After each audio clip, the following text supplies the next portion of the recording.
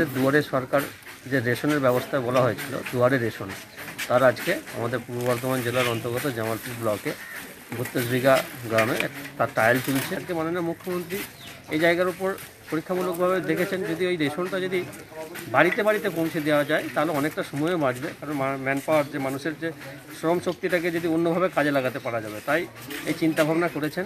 আমরা মাননীয় মুখ্যমন্ত্রীকে সাধুবাদ জানাই এই চিন্তাভাবনা করার জন্য। আজকে সেটা আমাদের বিধানসভার অন্তর্গত, জামালপুর এক ব্লকের অধীন বত্রিশ বিঘা গ্রামে তার পরীক্ষামূলকভাবে তার কাজ চলছে।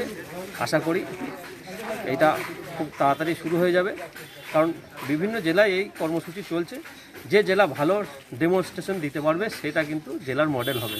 তাই আমরা চেষ্টা করছি যে আমরাও ডেমনস্ট্রেশনটা এমনভাবে দেবো যেন আমাদের জেলারটাও কিন্তু মডেল হয়। কেউ দুজন ফ্যামিলি আছে, কেউ জব কার্ডে কাজ করে, কেউ তো মাঠে কাজ করে। বা দেখা যাচ্ছে বাড়িতে বা ছোটো কেউ রেশন আনার জন্য নেয় সেই জায়গায় বাড়ির পাশে যখন পেয়ে যাচ্ছে, মানুষের উৎসবটা অনেকটা বেড়ে যাচ্ছে। মানুষ খুশি হয়েছেন যে আমরা যেমন দুয়ারে সরকারের বিভিন্ন পরিষেবা পেয়েছি এটাও কিন্তু রেশনটাও দুয়ারে সরকারের মাধ্যমে পাচ্ছি, এটা খুবই ভালো। এটা যদি আরও আগে হতো, মমতা বন্দ্যোপাধ্যায় সরকারের, তাহলে আরও ভালো হতো। প্রথমত হচ্ছে এই যে আমরা দুয়ারে রেশন যে কর্মসূচি আগামী দিনে আমাদের রাজ্য সরকার নিতে চলেছে, তারই গোটা পশ্চিমবঙ্গব্যাপী আমি যতদূর শুনেছি মোট আঠাশটা ব্লক সিলেক্টেড হয়েছে, তো সেই আঠাশটা ব্লকেই পরীক্ষামূলকভাবে এই কর্মসূচি চলছে। তো এর মাধ্যমে আমরা একটাই করতে চেয়েছি যে এই কোভিড পরিস্থিতি এটা কবে শেষ হবে আমরা কেউ জানি না।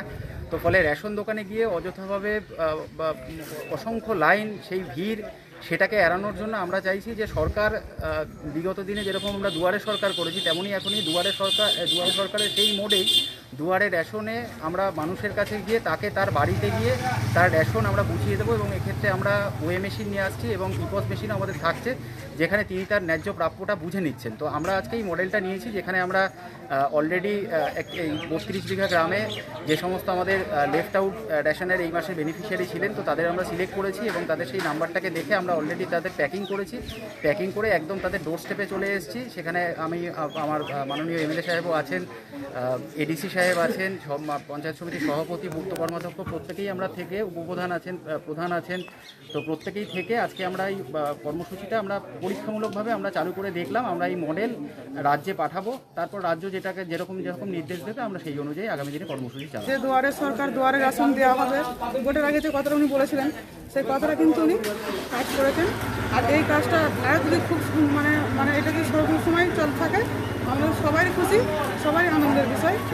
সবাই ধন্যবাদ জানাচ্ছেন এই করোনার মধ্যে যে রেশন দোকানে গিয়ে যে লাইন ভিড় হচ্ছে অনেক সময় মানে সময় যাতে সময় বেঁধে দেওয়া হয়েছে সময়ের মধ্যে অনেক সময় গিয়ে হয়তো মাল পাচ্ছে না।